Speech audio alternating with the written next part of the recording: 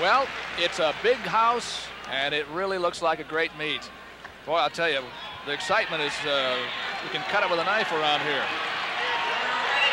The referee for tonight's match, there's Jim Gibbons, and what a hand Eddie Banach got tonight. He got a he got a hand, a standing ovation as coming back. Now here we are at 118. It's Matt Egeland of Iowa in the black. Again, he finished second in the Nationals last year, but he's had a bad year this year at 26. Now he's down at 118 again. And his opponent is Perry Summit. Now, he's not been in there all year for Iowa State, but he beat Gary McCall in a wrestle-off, and so he gets the chance. I think one of the things that we'll see is Matt Egeland making a lot of low-level attacks. He knows that Perry Summit likes to throw. He tends to be a fairly good upper body wrestler. And uh, Matt Egeland will try to get that low-level attack saw right there. In on a single, change A double leg, he's in. A double leg takedown by Egeland. He's ahead two to nothing. This is his first time down, Judge. And it will be interesting to watch how he adjusts to this weight reduction from 126 to 118. You bottom man get set. Top man, you're on. Summit on the bottom. In his first big meet as a cyclone. Here's uh, Egeland trying to tip him, trying to load him up, get back points. Here he comes with it. Did he get back points? Well, he didn't make the adjustment into it too, uh, maybe as, as, hard as he could have. He might have got some more. The referee is Phil Henning from Marshalltown. Now, Iowa would like to get big points here, 4 nothing. Iowa State knows they have to win in these early waves because they tend to have a better chance here than they will up high. Well, he's doing what he has to do, and that's take advantage of that top position. Puts a lot of pressure on Summit, the Iowa State athlete, and uh, is trying to get those points where he can load him up, turn him to his back. Chicken wing by Egeland on top. Complaints by, boy, he's driving that chicken wing. But out, Summit is out, four to one, with about a minute gone.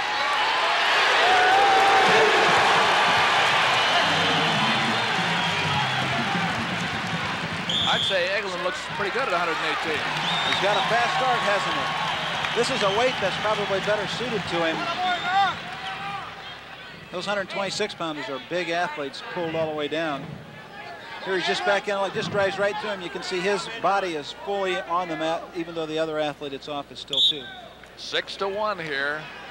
Perry Summit, a sophomore from Bloomington, Indiana, gets out now, makes it 6-2. But he needs to score big points. He needs to score takedowns, near fall, not down. Eight to two now in the first period. In that in that instance, Summit put himself there by attempting to do that little roll where he didn't get the near fall point. Eight to two with only 50 seconds to go in the first period. Remember, there's Jim Gibbons. He doesn't want to see his man this far behind in the first period. He's trying to encourage his athlete to just get composed. You know, stay, stay in control of this thing mentally because you're not out of it unless you start to think you're out of it. And it's the beginning of a big meet. Egeland of Iowa, who finished, as we said, second in the NCAA last year. He's looking in NCAA form right now, isn't he, Doug? He sure is. Here we are at Carver Hawkeye Arena, the beginning of the Iowa-Iowa State meet. I'm Doug Brown, Chuck Patton, and you're looking at Matt Egeland, who's cut down now to 118 pounds. Iowa hopes to have Brad Penrith at 26 when he becomes eligible next week. Now, that'll be pretty tough then, I'll tell you, from top oh, to bottom. Yeah. One of the things that you asked me early was a crowd like this, what does it do? And I mentioned it may affect uh, individuals in certain matches. This might be one of the instances right here because you're watching a young man from Indiana. And he scored that point because he did break free. But you're watching a young man from Indiana who hasn't wrestled in front of a crowd this size, and it might be bothering him. Barry Davis, boy, he's he's excited about this meet too. We were talking to him before the match. In goes Egeland again. This time Summit manages to stop the takedown. That's the first time really he shut off Egeland's offense. Well, you saw him lock that arm in tight.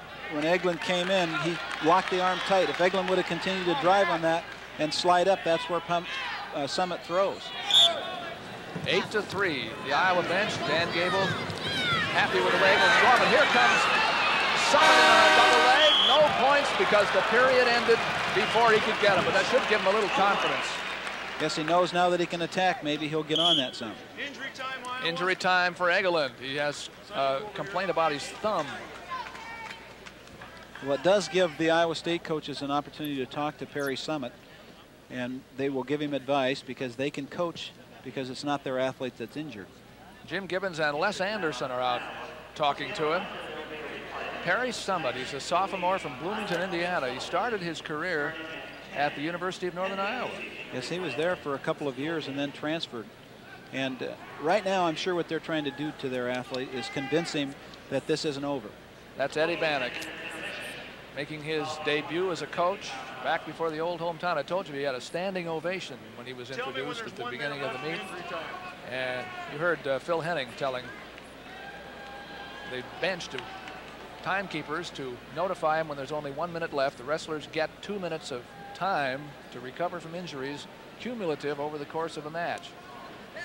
And they should understand that if there's blood involved from bleeding, then you throw that two minutes out. So And as we've said many times, that's because it's harder to fake blood than it is a lot of other things. that's right. This, uh, Ma- Ma- Matt Egeland has a, obviously, he must have Okay, second period. Iowa sprained his uh, choice. thumb. No choosing. Iowa State chooses down. It was not uh, something he's like to have, but he's taped up pretty well now. Summit chooses down. Summit had the choice Man, you're on. in the first period. Wants to get up and come away. Let's see what the Iowa State coaches taught him. Egeland still driving at it beautifully. They stayed after that well. Tilt. Didn't quite get it that time. This is what he's after, his arm control so he can get those tilts. There's a nice stand-up. Good recovery time. Good recovery by Egeland to keep the position of advantage. Well, the referee started to signal one, but Egeland was back on that before he actually broke free, so he waved it off and gave no escape. A lot of riding time for Egeland, too. He has more than two minutes worth.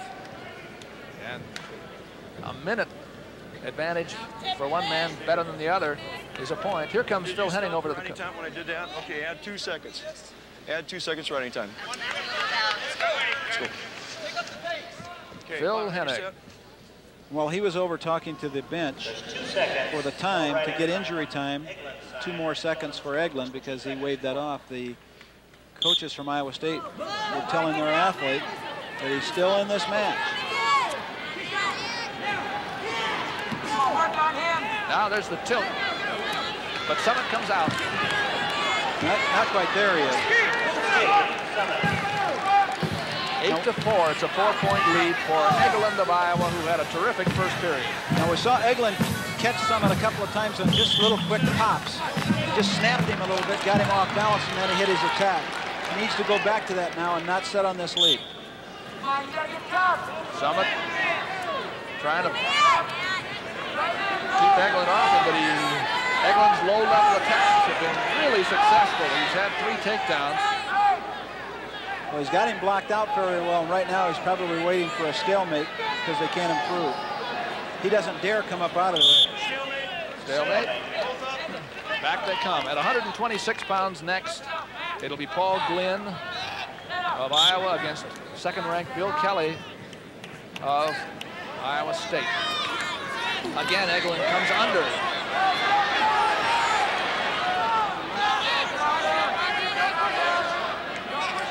The edge of the mat, back to the center. Summit is wrestling for Iowa State. He beat Gary McCall, as we said, in a wrestle-off this week. There were a couple of those. Tim Krieger solidified the 150-pound position for Iowa State.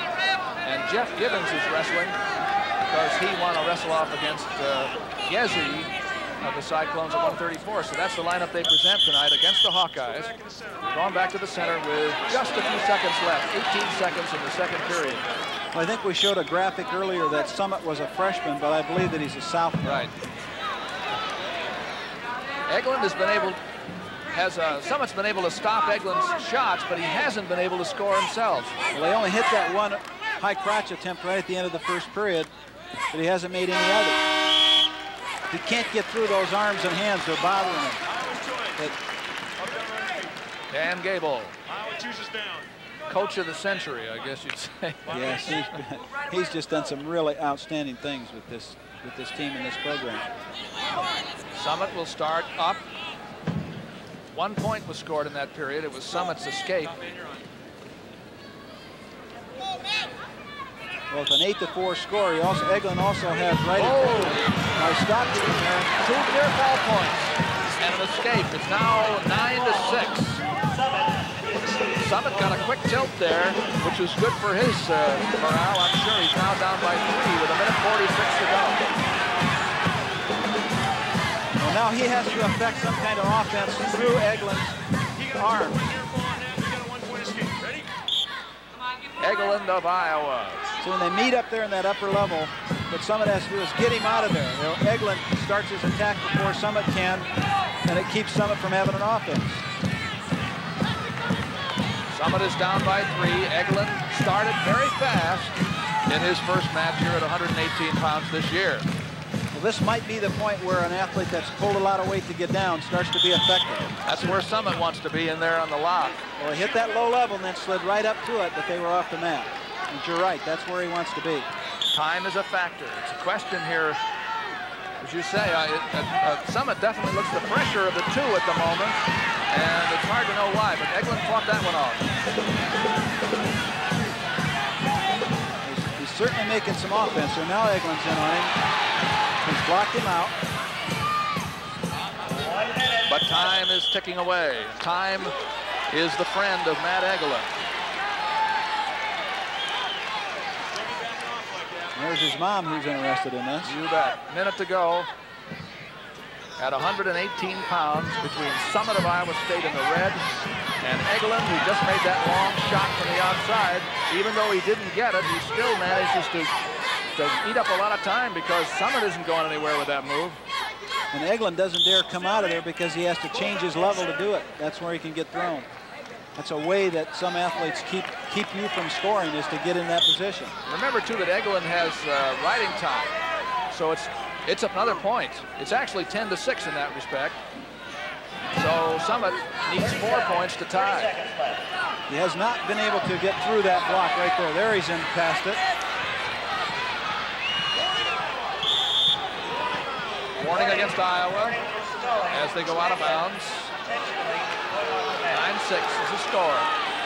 Summit has 22 seconds to catch Egeland. He needs four points to do it. Matt started very fast and who just made that shot looks looks like a winner.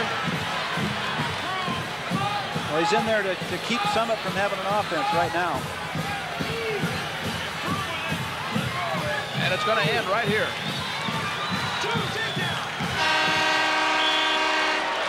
Takedown goes to Summit.